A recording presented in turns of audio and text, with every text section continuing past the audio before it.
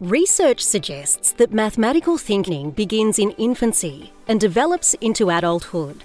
It is embedded in children's everyday lives.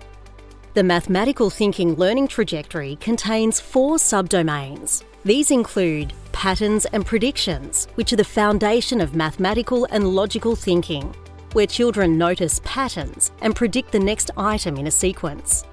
Shapes and spatial thinking can be demonstrated by describing physical objects, their position relative to each other, and their direction of movement.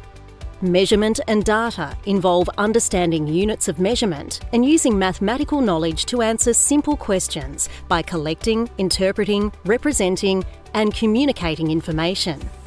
Quantity and counting relate to naming numbers in sequence and connecting them to quantities, as well as using actions, objects, or numbers to symbolise these quantities.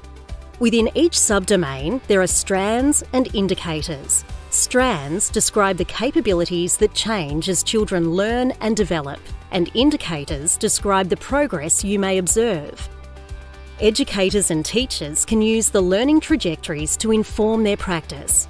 Let's look at how the learning trajectory for mathematical thinking can be used alongside the Early Years Learning Framework version 2 planning cycle. An educator or teacher observes a child beginning to use measurement concepts in their play as they compare the heights of their towers. The educator or teacher then refers to the learning trajectories to assess the learning and to identify the indicator that best describes the child's skill. They identify that this example of learning falls under the mathematical thinking domain, more specifically, the measurement and data subdomain.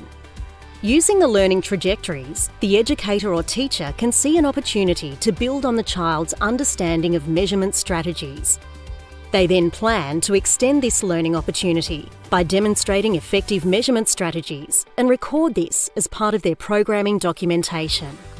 The educator or teacher then implements a range of learning experiences to draw children's attention to using informal measurement tools consistently.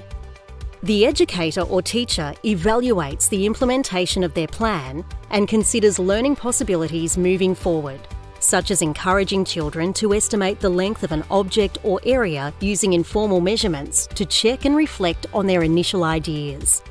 A child's development is influenced by their community, culture, and everyday experiences. The learning trajectories are not designed to be used as a checklist, as each child's development is unique Rather, they serve as a guide to identifying and extending on children's abilities, knowledge, and understandings.